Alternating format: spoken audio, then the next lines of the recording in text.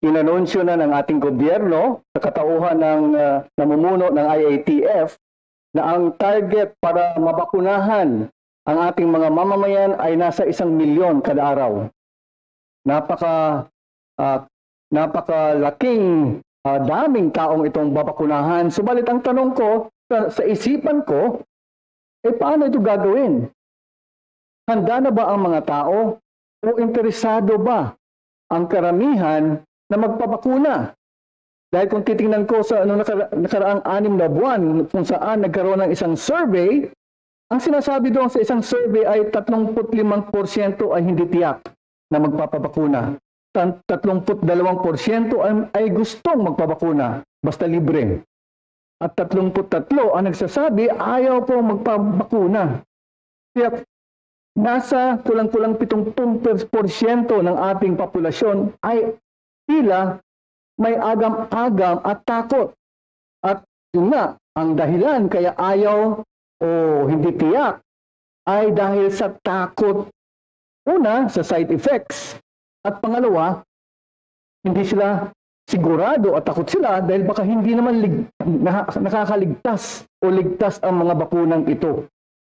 At ano ang solusyon na dapat gawin ng ating gobyerno?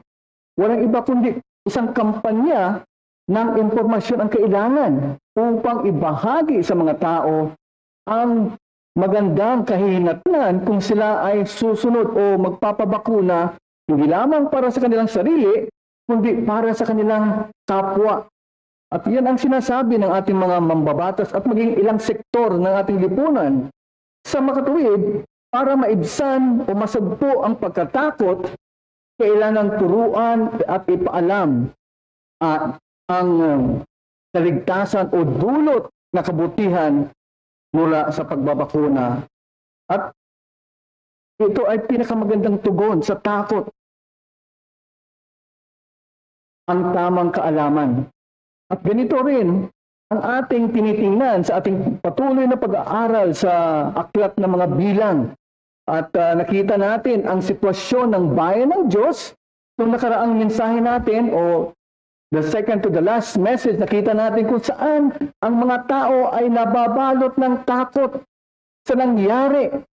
At sa simula pa, noong Kabanata 16 at 17, nakita natin ang mga pag-angal at paghihimagsik ng bayan ng Diyos laban sa pam- pamumuno ni na Moises at Aaron. At ito nagdulot ng sunod-sunod na paghatol mula sa Diyos. Nilamon ng lupa, sina Cora, maging ng magkasamahan nito. Ang dalawang, dalawang daan at limampu na tinupo ng apoy mula sa langit. At nakita rin natin ng libo-libong namatay ng salot, kulang-kulang labing limang libo. Ito nag-umpisa sa walang takot na paghihimagsik sa Diyos. Ngunit nauwi sa lubhang pag- pagkatakot dahil hindi o hindi pagkaunawa ng kahulugan ng kamanghamanghang tanda mula sa pag-usbong, sa pagpamumulaklak at pagbunga ng tungkod ni Aaron. Yun ang ating nakita two messages ago. So, ang kanilang pagkatakot ay hindi na natili doon, kundi dumating sa tinatawag nating despair. Mula sa takot tungo sa kawalan ng pag-asa. Yun yung sitwasyon ng bayan ng Diyos. Natutunan nila na ang mapait na karanasan na matakot sa kahinatnan ng kanilang kasalanan. Kaya ang, ano bang sabi nila sa talatang dala- labing dalawa at labing tatlo sa Kabanata labing pito? Kami ay patay, kami ay mapapahamak. Ganon ang kanilang pangamba sa kanilang mga buhay sa gitna ng nakita nilang ah, himala o tanda mula sa ating Panginoon. Subalit, mabuti ang ating Diyos. Mabuti ang layunin ng Diyos para sa Israel. At sa pamamagitan ng pagtatag at pagpapatibay ng tungkulin ng pagkapari, ito ay magiging daluyan ng biyaya niya sa kanyang bayan.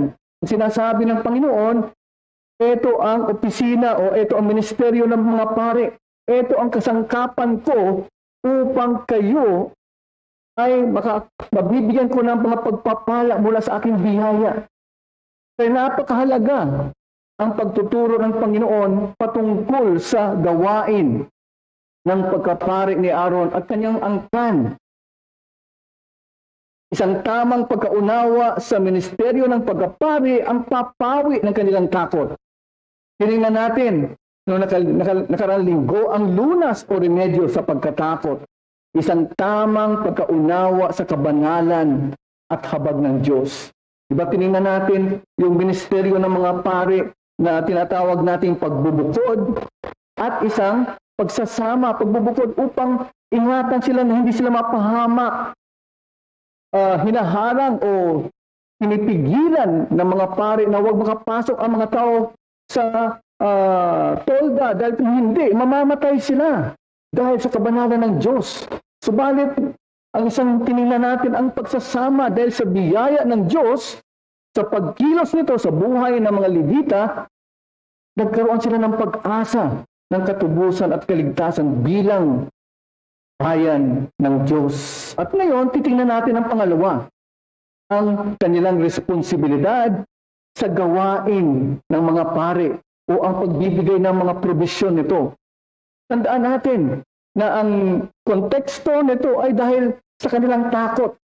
At sa Kabanata 18 at 19, ito yung magiging konteksto o nasa pal- paligid nito ang mga, mga ah, katotohanan na ating pag-aaral ay nakatuon upang maibsan ang kanilang takot na kanilang na, naramdaman, naranasan at nakita dahil sa pagkilos ng Diyos, sa paghatol ng Diyos sa kanilang kalagitnaan. At muli, aanyayahan ko kayong tingnan natin ang mga bilang labing, labing walo. Ah, hindi po natin babasahin yung from verses 8 to 32. Titingnan po natin, ah, lulundag muli tayo, talatang walo hanggang siyam. Lulundag tayo sa labing siyam hanggang dalawampu at sa mga huling talata, talatang dalawamput lima hanggang sa kahuli-hulihan. Ganito po ang sinasabi, talatang walo. Sinabi ng Panginoon ay Aaron, ako'y narito. Ibinigay ko sa iyo ang karun, katung, katungkulan sa mga handog na para sa akin. Lahat ng mga banal na bagay ng mga anak ni Israel, ibinigay ko sa iyo ang mga bilang, ito bilang bahagi. At sa iyong mga anak bilang marapat na bahagi ninyo, magpakailanman. Ito ay magiging iyo sa mga pinakabanal na bagay na hindi pinaraan sa apoy. Bawat alay nila, bawat handog na butil at bawat handog pang kasalanan at bawat handog nila para sa may salang budhi na kanilang ihahandog sa akin ay magiging pinakabanal sa iyo at sa iyong mga anak. Dalawang labing siyam. Lahat ng lahat ng banal na naghandog na nahan, nahandog na ihahandog ng mga anak ni Israel sa Panginoon ay aking ibinigay sa iyo at sa iyong mga anak na lalaki at babae na walang hanggang walang hanggang bahagi. Iyon ay tipan ng asin magpakailanman sa harap ng Panginoon para sa iyo at sa iyong binhi na kasama mo. Sinabi ng Panginoon kay Aaron, hindi ka magkakaroon ng mana sa kanilang lupain, ni magkakaroon ka ng anumang bahagi sa gitna nila. Ako ang iyong bahagi at iyong mana sa gitna ng mga anak ni Israel. Lundag po tayo, tala- talatang 25. At nagsalita ang Panginoon kay Moises na sinasabi, Bukod dito'y sasabihin mo sa mga Levita, pagkakuha ninyo sa mga anak ni Israel ng ikasampung bahagi ng aking ibigay sa inyo mula sa kanilang sa kanila bilang inyong mana ay inyong ihahandog bilang handog na ibinigay sa Panginoon. Ang ikasampung bahagi ng ikasampung bahagi, ang iyong mga handog ay ibibilang sa iyo, sa inyo na parang trigo ng giikan at ng kasaganaan ng isaan ng ubas. Ganito rin kayo maghahandog ng handog sa Panginoon sa iyong buong ikasampung bahagi na inyong tinanggap sa mga anak ni Israel at ganito ninyo ibibigay sa paring si Aaron ang handog sa Panginoon. Sa lahat ng inyong natanggap na kaloob ay inyong ihahandog ang bawat handog na ukol sa Panginoon.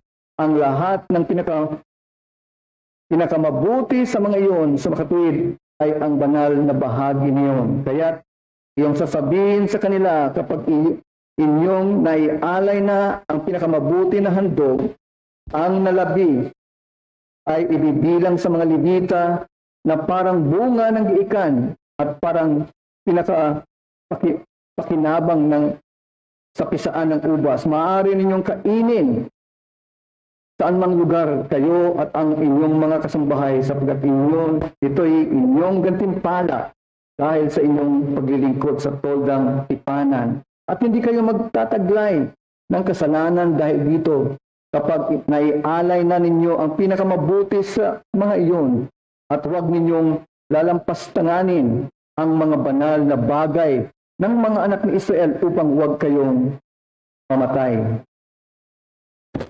At para bang tila kung babasahin natin ang mga regulasyon na to, parang anong sa- saysay o anong silbi nito?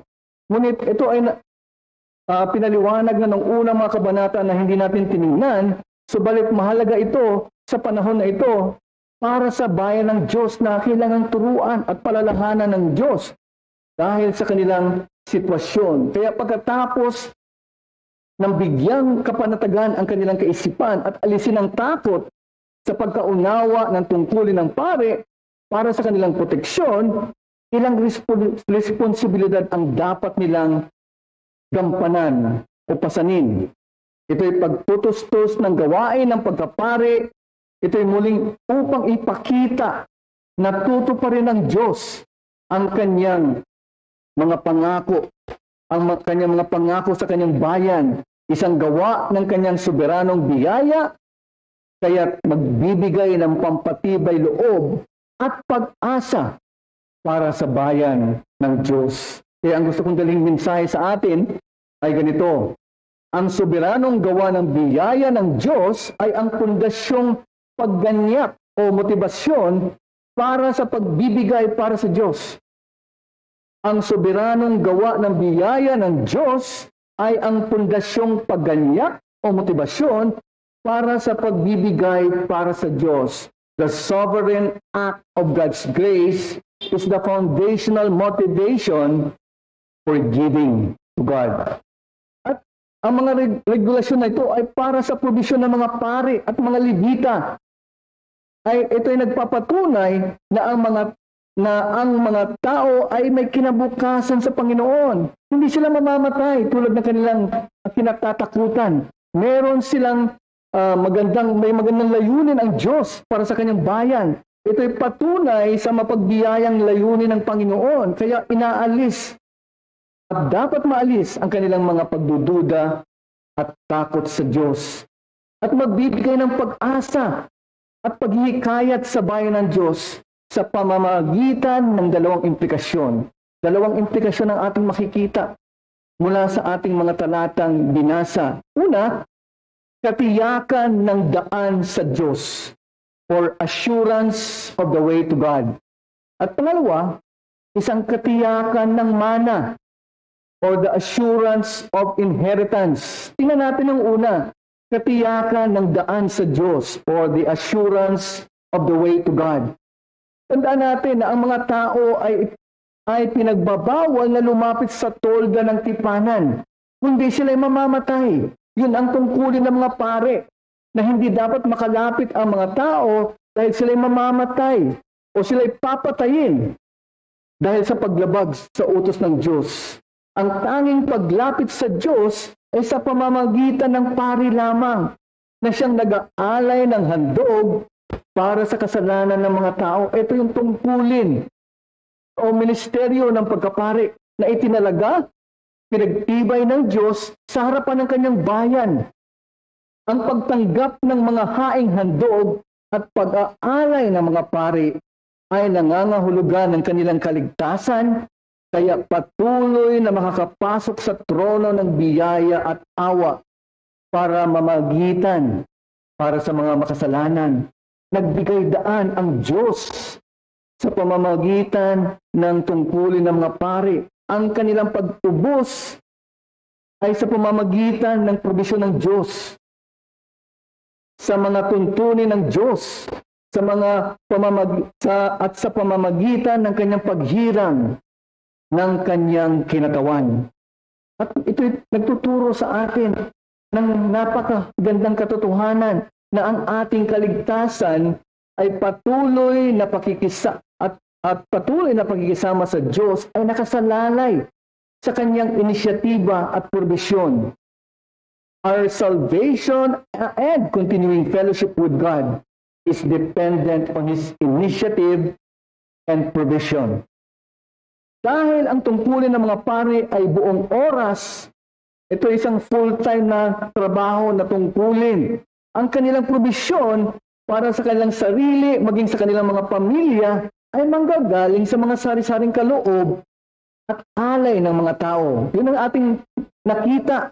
Yan ang laman ng mga talatang yan. Sinabi ng Panginoon sa talatang 8 kay Aaron na sila'y bibigyan katungkulan sa mga handog ng bayan. Ito'y may ti- ipinalagang parte sa pag-aalay sa Diyos. Ganito ang nangyayari sa kanilang pag-aalay. May ilang parte na dapat ihandog sa Diyos. Subalit, may mga bahagi naman na pinagkakaloob para sa mga pare. Ito'y para sa kanilang pagtutustos sa kanilang sarili, sa kanilang mga pamilya, habang sila'y naglilingkod sa banal na dako ng Diyos. May karapatan din sila sa unang bunga ng ani. Lahat ng mga panganay na hayop ay para sa pare. Kaya kailangang ialay sila sa normal na paraan at pagkatapos kakainin sila ng kanilang mga pamilya. Mga maruruming hayop at panganay na mga lalaki ay tutubusin at ibibigay sa mga pare ang handog ng pagtubos o yung pagtubos ng panganay. Ito ay larawan ng pagtubos mula sa Ehipto ng kanyang bayan. Ito'y pagpapaalala sa mga Israelita na ang bawat buhay ay nagmula sa Diyos ay mga pag, pagtuturo ng Diyos sa kanyang bayan kung gaano pinag gaano katindi ang biyaya ng Diyos sa kanila na sila'y tinubos mula sa pagkaalipin sa mga Ehip, sa Ehipto at muli pa, patuloy itong pag, pagtuturo at pag-aaral sa kanila. Kaya merong pagtutubos hindi lamang sa kanilang kapanahunan maging sa ating kapanahunan ito pa rin ang gawain ng iglesia sa ating kapanahunan na tubusin ang mga makasalanan. Kaya pinapangaral natin ang napakadakilang biyaya ng Diyos na inaalala natin sa ating ika-apat na pong anibersaryo bilang iglesia. At hindi tayo dapat magulang. Ito ang ating ah, laman ng ating mga puso. Ito ang pangunahing tungkulin ng pulpitong ito na ituro, ipangaral upang ang isang makasalanan o ang mga makasalanan ay kumilala sa pangangailangan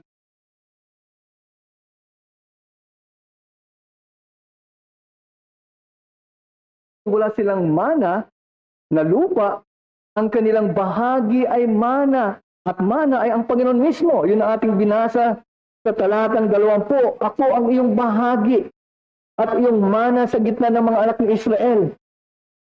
At ang mga umiiral at permanenteng obligasyon na ito, yung mga paghahandog at alay at parte ng, ng mga pare, ay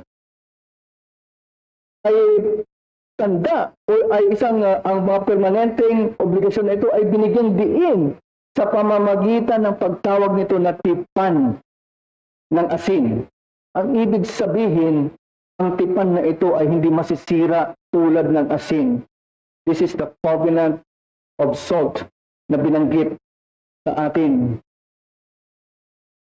Para sa ilan sa atin, marahil kung kayo ay nakatira sa isang subdivision o kaya ikaw ay nakatira sa isang condo, condominium unit, kasama sa ah, binabayaran mo, hindi lamang mahal ang iyong mga ah, ang halaga ng lupa at marahil mga bahay, marami ka pang binabayaran ng mga fees buwan-buwan o marahil taon-taon. At ah, minsan yun mab- mabigat, lalo na pag sa condominium. At sari-sari, ito ay para sa basura, ito ay para sa seguridad, tinatawag na membership, and so on and so forth. Iba-ibang mga tawag nila dito na listahan ng mga dapat mong bayaran, bay- bayaran o bayarin dahil ikay kabilang doon. At ito dahil may mga praktikal na pangangailangan upang tustusan. Tustusan ang mga pangangailangan ng iyong condominium, yun, uh, condominium ah, mga units na kung saan ka nandoon o maging sa subdivision. Ay pang serbisyo dahil may mga kailangan gampanan o tungkulin na dapat gampanan upang mapanatili ang kaayusan. At lalo't higit ang sangtuaryo ng Panginoon dahil ang sangtuaryo ng Panginoon ay nangangalaga ng espiritual na mga pangangailangan ng kanyang mga alagad, ng kanyang mga anak. Kaya lalo mas mahalaga ito, may pang-eternal na perspektibo. Kaya mas lalong higit na meron tayong dahilan na ah, tingnan bigyang halaga ito. Kaya ang aking ah, hamon ay sikaping maunawaan at lubos na kilalanin ang inyong tungkulin at responsibilidad sa pagsuporta sa gawain ng ministeryo. Ito dapat ay pakaisipin ng bawat isa na kabilang sa iglesia ng Diyos. In other words, we have to endeavor to understand and fully acknowledge your duty and responsibility in supporting the work of ministry. Sa bagong tipan, ninanais ng Diyos na magkaroon ng mga lalaki na maglilingkod sa Kanya ng buong panahon. Kung saan ang mga pare, ganun ang kanilang tungkulin, sa bagong tipan, ganun din ang disenyo ng Diyos. Ganun din ang kanyang layunin na magtatawag ng mga kalalakihan, na mangunguna, at isusulong o ituturo ang kanyang salita at pangulahan ang kanyang iglesia, pagtuturo ng salita at maging pastol ng kawan. Ito ang sabi ni Pedro sa unang Pedro 5, talatang dalawa, maglingkod bilang tagapangasiwa.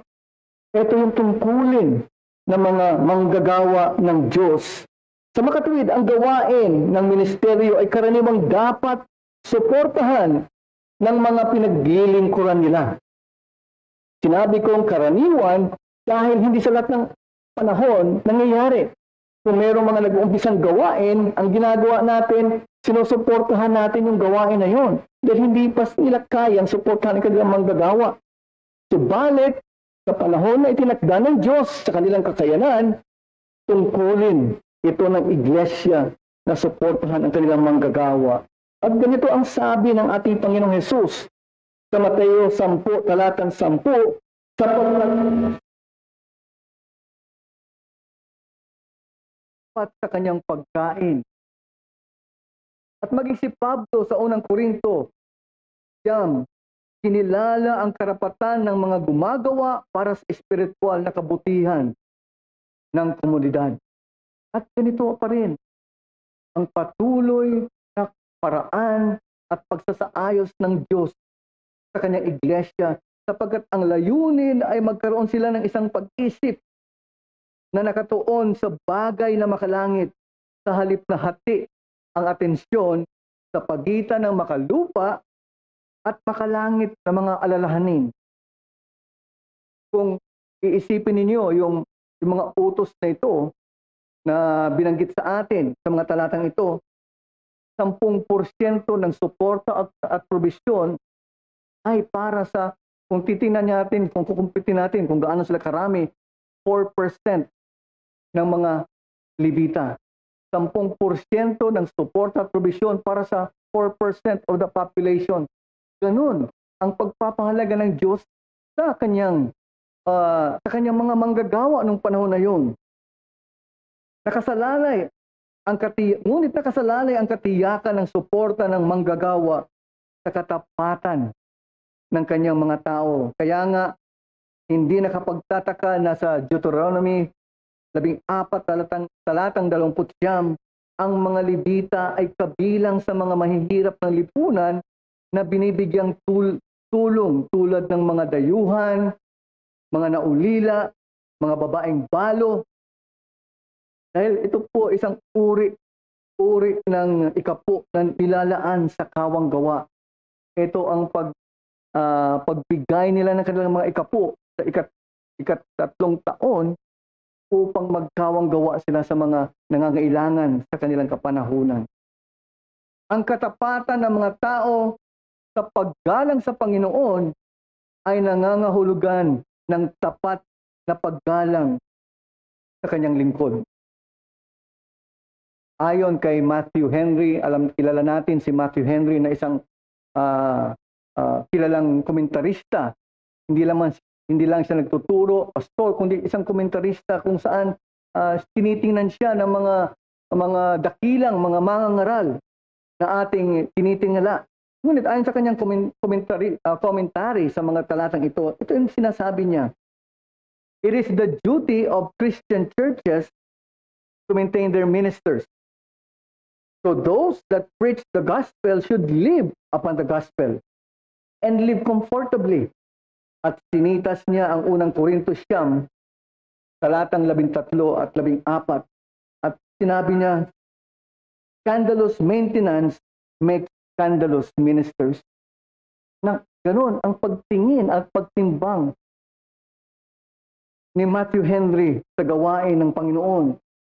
Kahiyahiyang gaw kahiyahiyang gawain kung ang, ang resulta nito ay kakulangan sa pagsuporta at probisyon sa mga manggagawa ng Diyos. Kaya napaka tamang isipin at alalahanin natin na sa pamamagitan ng pagtuturo ng Diyos sa kanyang bayan, may ibsan ang kanilang takot dahil may katiyakan ng daan sa Diyos sa ministeryo ng pagkapare. Ngunit pangalawa, may katiyakan ng mana.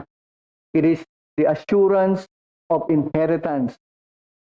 Ang mga probisyon ng mga Levita ay binubuo ng mga kita sa agrikultura, mga butil, at maging mga hayop. Ito yung kanilang inaalay sa Diyos. At mula sa kabutihan ng Panginoon, siya ay magdadala ng mabunga at masaganang ani sa lupain. Ito yung ipinangako niya. Kaya makakapag-alay sila para sa Diyos. Dahil kung wala silang aanihin, walang mabungang ani, wala silang may, may bibigay ipagkakalob sa Diyos. Subalit, mangyayari ang lahat ng ito kapag naabot nila at inari ang lupain. Tandaan natin sa panahong ito, sila ay naglalakbay sa ilang. Alam natin na ang unang henerasyon ay mamamatay sa ilang dahil sa kanilang kasalanan, sa kanilang pagtalikod sa Diyos. Subalit ang ikalawang henerasyon, sila yung mamana ng lupang pangako. Ayon sa ah, binanggit ng Panginoon sa Kabanata 15. Kaya ito isang katuparan ng pangako, hindi kamatayan ang maasahan. Sa pamamagitan ng mga alituntuning ito, kung iisipin nila, mayroong matutupad na pangako ang Diyos para sa kanila. Dahil makakarating sila sa lupain. Kaya sila naroon sa ah, kanilang patuloy na paglalakbay sa ilang. Ito isang pagpapahayag ng biyaya ng Diyos sa kanyang bayan at pagpapaalala ng kanyang kabutihan kagandahang loob. At kinalang makakamtan at tatamasain at ay mula sa mabuting kamay ng Diyos. Kaya dapat isang pasasalamat at pagsamba ang nararapat na tugon ng kanyang bayan. Kaya makikita muli natin dito na ang pagbibigay ng ikapo at alay ay pagpapaalala ng Diyos sa kanyang bayan na ang bawat lugar ng kanilang ng buhay ng kanilang mga buhay ay pag-aari niya. The giving of tithes and offering is God's reminder that every or every area of life belongs to Him. Lahat ng aspeto ng iyong buhay ay nanggaling sa Diyos. Bilang mga nangungupahan sa lupain ng Diyos, dapat nilang ibigay sa Diyos ang mga unang bunga at bahagi ng ani sa Diyos. Sapagkat ang lupain ay pag-aari mismo ng Panginoon. Sa pamamagitan ng kanyang karapatan, karapat dapat siyang tumanggap ng mga alay. Bagamat ipinangako ito sa kanila. Sa mga bansa nung panahon na yon, sa mga bansa na malapit sa silangan, Near East societies or countries at the time, binubuhusan ng mga hari ang mga tao ng 10% ng ani para suportuhan ang mga opisyal ng hari at ang ng templo. Ito'y kaugalian at kalakaran sa mga panahon na ito. Ito ay nangyayari karaniwan sa kanilang kapanahunan. Ang ikapo ng Israel ay tila ganon. Tila katumbas nito. Kung ang mga mamamayan sa silangan ay nag-aalay sa kanilang hari, ang Israel ay nag-aalay ng nag-aalay sa pinakadakilang hari.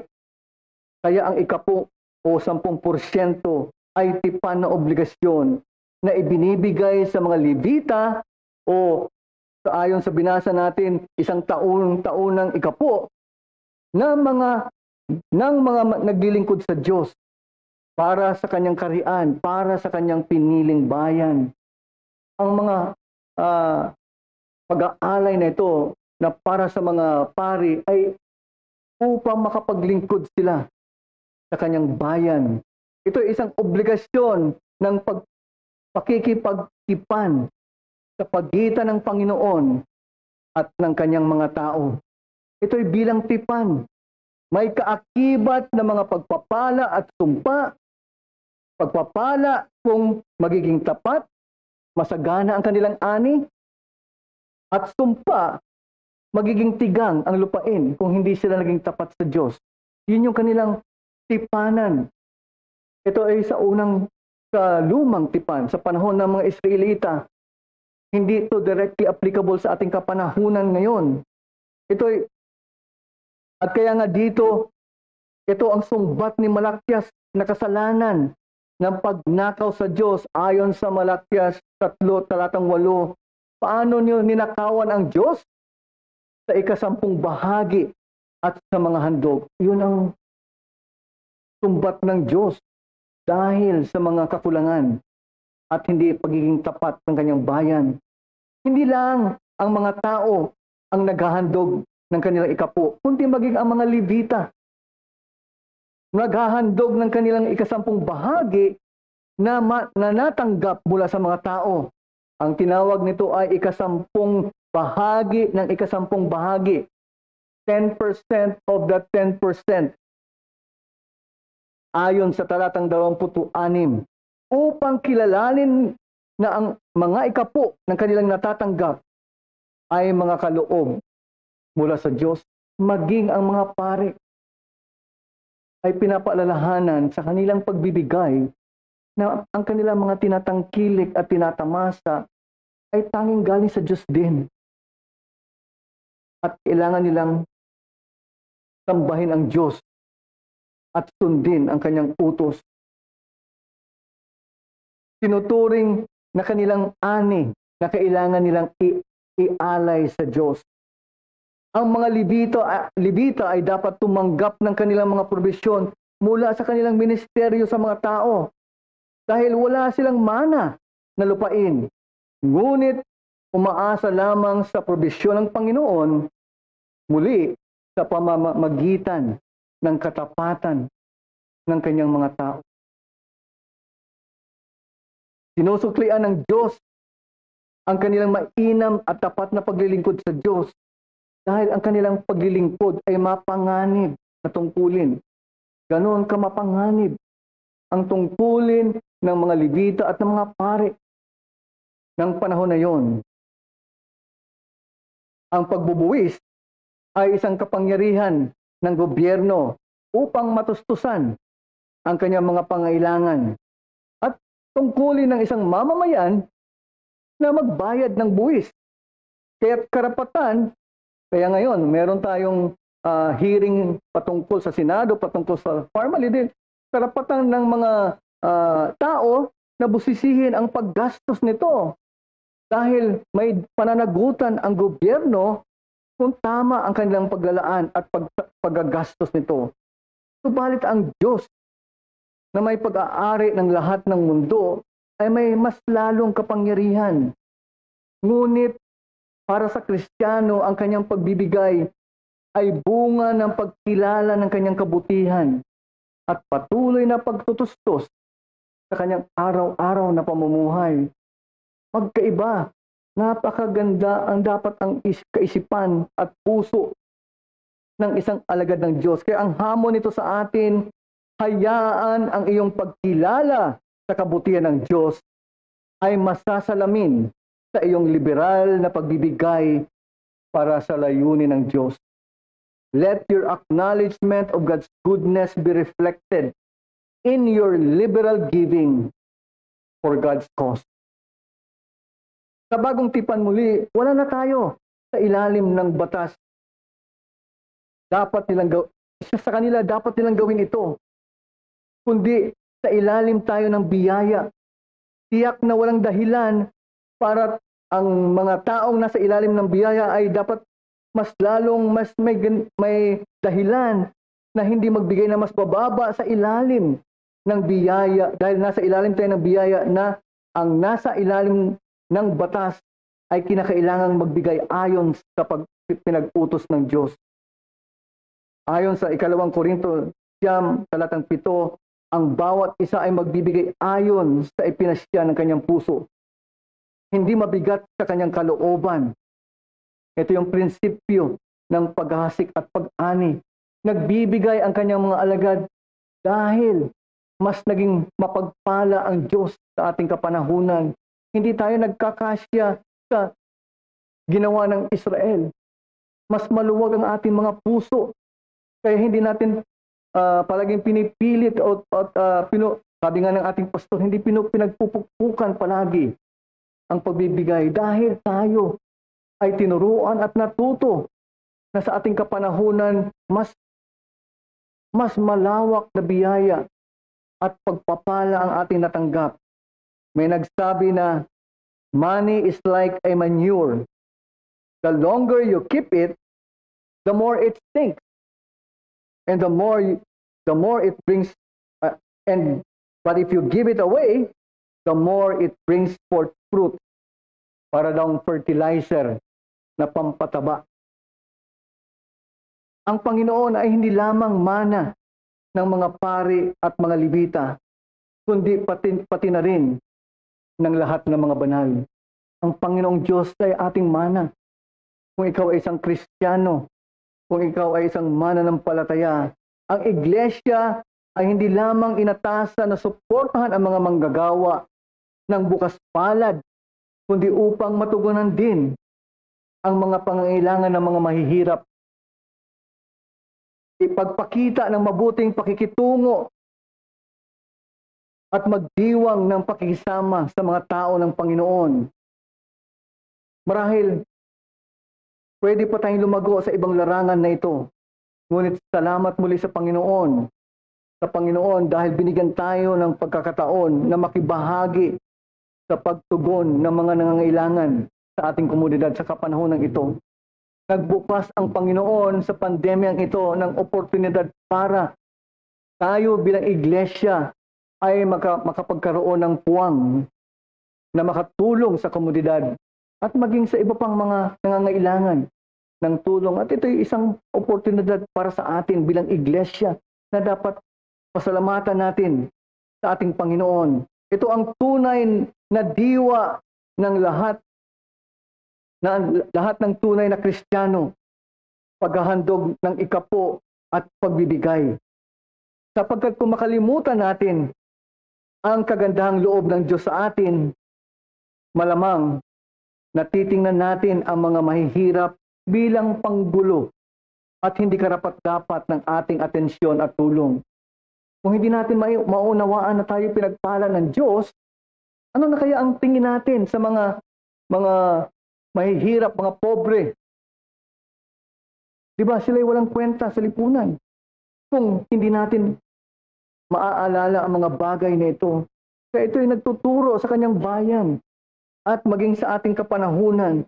Ganito rin mu- muli ang pagtuturo sa atin. Di ba ganito? Ganito ang nangyari sa asaloobin ng panganay na kapatid sa Lucas 15 sa alibu- alibughang anak. Naging matigas ang puso, minasama ang kabutihan at pinamalas ng ama sa alibughang anak. tulad ng panganay, ang dahilan kung bakit wala tayong pagbubukas palad sa ating mga puso sa iba ay dahil hindi natin nakikita ang dakilang kaloob na ibinibigay sa atin. Kailangan nating paalalahanan, paalalahanan mulit-muli na ang lahat ng ating tinatamasa ay mula sa Diyos. Kaya dapat may puwang sa ating puso't isipan sa pagtulong at pagbigay. Sa prinsipyo ng ikapo, kailangan upang iuwi ang katotohanan iyon sa puso ng Israel. Kailangan maintindihan nila ang magandang layunin ng Diyos sa kanila. Hindi dapat sila matakot. At para sa atin gayon din. Ipapa, upang paalalahanan tayo sa ating mga puso na naging mabuti ang Diyos sa atin bilang mga kanyang anak. Sa katotohanan, napakakaunting bagay ang nagagawa ng walang kabutihang loob ng anak ng Diyos. Marahil, ito isang sukatan ng espiritual na paglago ng isang mananampalataya. Hindi lamang ang pagbibigay ay isang ang tanging sukatan, marahil ito isang sukatan din sa iyong paglago bilang mananampalataya. Si Martin Luther din ay may sinabi patungkol sa mga bagay na ito. Ayon sa kanya, may tatlong pagbabagong, pagbabagong loob o conversion na dapat pagdaanan ang isang tao. Ang tatlo ay sa puso, sa isip, at sa pitaka. Ngunit sabi niya, nalaman ko na ang unang dalawang bagay ay mas simple o madaling gawin na pagdaanan, ngu- ngunit mas mahirap ang pangatlo. Marahil ito ang isang hamon sa ilan o iba sa atin. Ngunit muli, sa ating pag-aaral at sa pagtuturo niya sa kanyang bayan, muli ito isang pamanhik at paalala sa atin. Mga kapatid, hinding hindi natin matatawaran ang Diyos na nagbibigay ng pinakamahusay.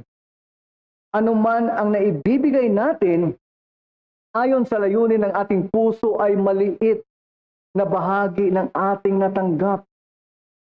Ngunit naway mapukaw ang ating mga puso sa katapatan ng ating tungkulin at pananagutan sa pagkaalam na tayo ay mas ay higit na liw- na liwanagan. Tayo'y naturuan. Tayo'y pinagpala ng mga katotohanan ito. Kaya dapat ito'y magbunsod sa ating mga puso ng kaluwagan. Lalo na sa ating henerasyon na mayroon tayong pinagpalang katiyakan dahil sa Ebanghelyo. Dahil mayroon tayong katiyakan, mas lalo't higit na bukal sa ating puso na gawin ang ating mga tungkulin ayon sa inilagay niya para sa ikasusulong ng kanyang iglesia. Kaya bilang tugon, tingnan, awitin natin ang huling himno o mapalad na katiyakan. Ang katiyakan dahil kay Kristo ay magdudulot ng lubos, lubos-lubosang kagalakan at naway tunay na pagpapasakop sa kanyang kalooban.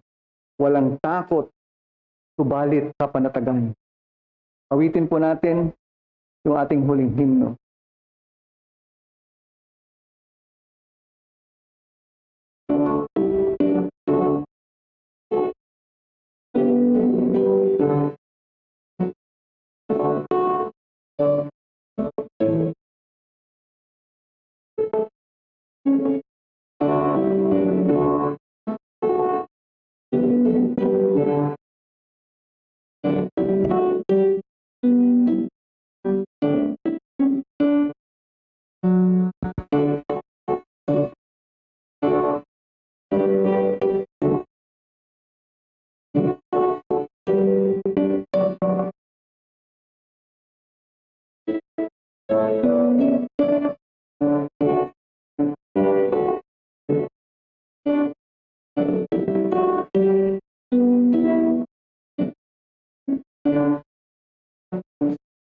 Sa unang talata, sabay-sabay po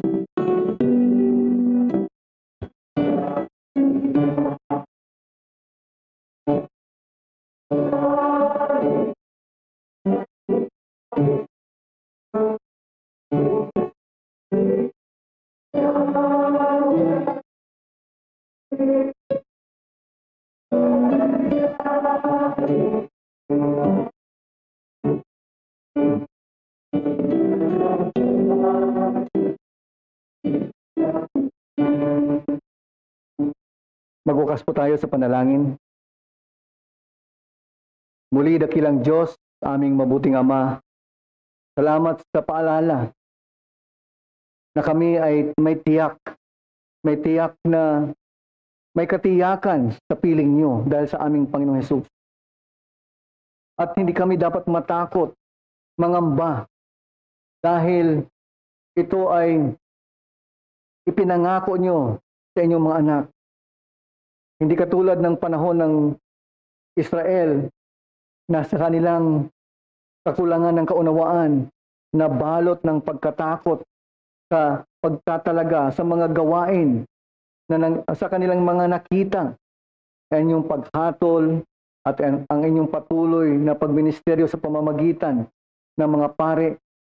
Ngunit kami na nasa panahon ng katubusan o ng kahustuhan kung saan nakita namin ang ginawa naming Panginoong Hesus, may mas dapat kaming kagalakan at katiyakan dahil mga maraming mga katotohanan ang inyong pinagkaloob sa amin. At nawa ito'y magbunsod sa amin ng mas kaluwagan upang magtustos, sumuporta sa inyong gawain.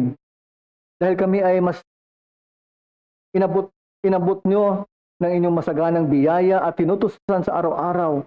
Makita sa aming mga puso ang kagalakan, ang pagnanais na maging kabahagi dahil kayo ang patuloy na nagtutustos para sa inyong mga alagad at mga anak. Salamat Panginoon na kami ay hindi mangamba, subalit kami ay magbunyi at magpasalamat dahil hindi kayo nagkukulang sa inyong mga anak. Tulungan niyo kami bilang iglesia na magkaroon ng tamang pagtugon, pagtingin at pagtimbang sa mga gawain ng pagmiministeryo at maging sa mga iba pang tungkulin at mandato na iniatang niyo sa amin. Makita kaming tapat at maluwag at nagpapagamit upang isulong ang inyong gawain, isulong ang inyong karian, at kami ay maging daluyan ng pagpapala sa mundong ito na puno ng kasalanan, kasakiman, at patuloy na paglaban sa iyo. Nawa, bigyan niyo kami ng sapat na biyaya upang maganap namin ang mga tungkuling ito. Hindi kami umaasa sa aming sarili, umaasa kami sa kakayanan na nagmumula sa inyo, sapagkat ang lahat na ito ay dalangin namin at hiling sa tanging pangalan ng aming Panginoong Hesus. Amen.